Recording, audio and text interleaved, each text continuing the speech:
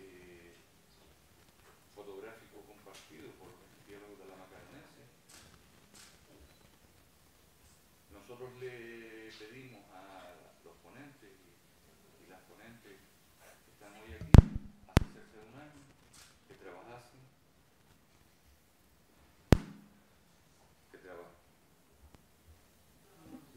bueno, que trabajasen eh, en, en una línea de investigación en la que el Cabildo de Gran Canaria está implicado desde hace años a través del Archivo de Fotografía Histórica de la FEDAC, que es eh, comprender cómo el papel que desempeñó la fotografía en el desarrollo de unas identidades culturales compartidas por la Macaronesia y poner eso en valor para evitar que se difumine en el tiempo, que es lo que está sucediendo actualmente.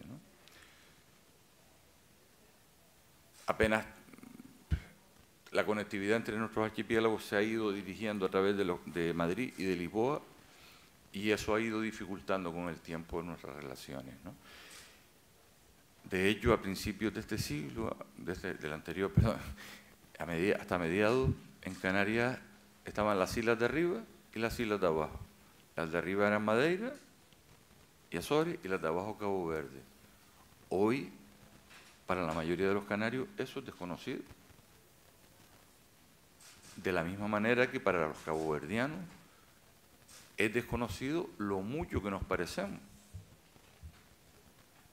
De tal manera que cuando un, isleño va a otro archipiélago, se siente como en casa, hablando en español de las Islas Canarias o en portugués. Dicho esto,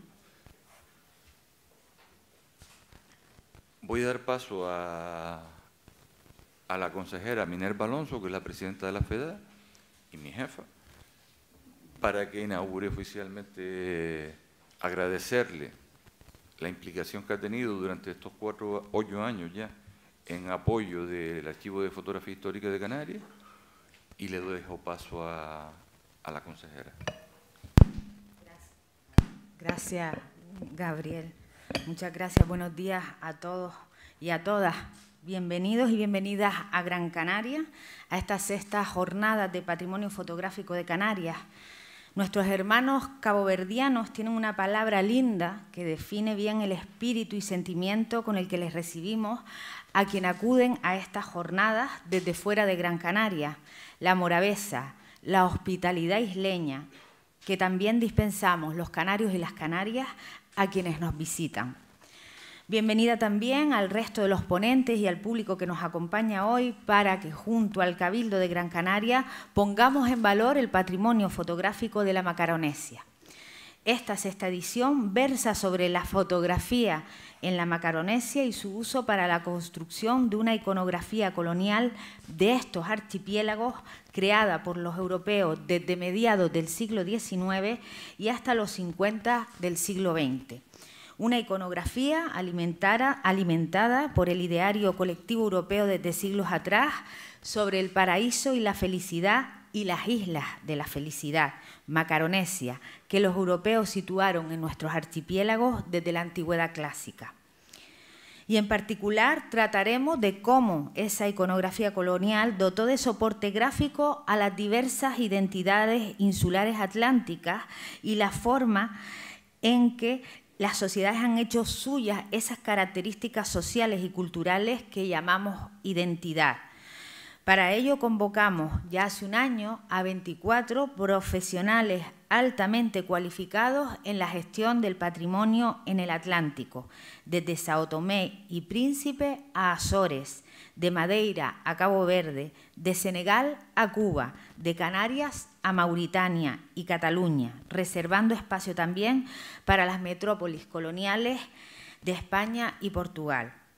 Pero los pueblos de la, Macaronesia no solo compartimos un patrimonio fotográfico con características similares, compartimos geología, climatología, botánica y por encima de todo una historia común, un patrimonio arquitectónico, gastronómico y lo más importante, un patrimonio cultural intangible que hace que los isleños cuando visitamos otro archipiélago nos sintamos en casa, sea hablando criollo, portugués o en español de las Islas Canarias. Deseo que sus jornadas de trabajo sean fructíferas y adelanten nuevos rumbos para que este legado cultural común no se difumine en el tiempo. Agradecer a la Casa de Colón por acogernos cada dos años en estas jornadas y también a la vocación y el compromiso del técnico Gabriel Betancor porque sin ello tampoco podríamos sacar este tipo de acciones y colocar al, archivo de fotografía histórica en el lugar tan importante que está en Canarias y en el resto del Atlántico. Declaro inauguradas las sextas jornadas de patrimonio fotográfico de Canarias. Gracias y buenos días.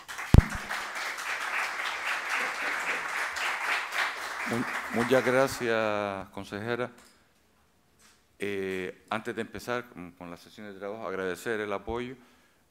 Las personas importan, pero aquí lo que más importa es, que hayan políticas públicas que mantengan en valor el patrimonio. Y yo agradezco lo que está haciendo, lo que está haciendo el Cabildo. Siempre se puede hacer más, ¿no? Lo que ha hecho el Cabildo durante estos eh, dos mandatos, ¿no? Y, y bueno, como sé que tiene mucho que hacer, muchísimas gracias por haber inaugurado la jornada y, nos ponemos a trabajar.